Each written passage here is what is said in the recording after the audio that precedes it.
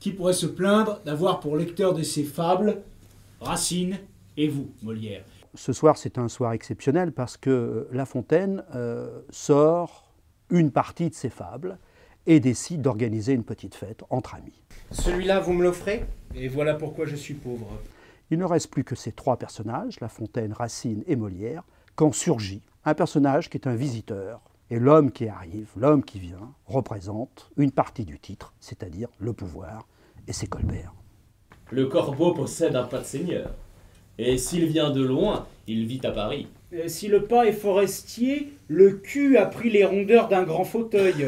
Molière s'aperçoit très vite que le conflit qui oppose Colbert à La Fontaine ne se résoudra pas avec des arguments politiques, mais que s'il a une chance d'aboutir, il le fera grâce au théâtre.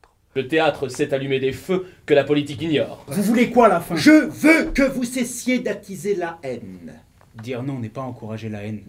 J'ai choisi mon exil, il faudra vous y faire.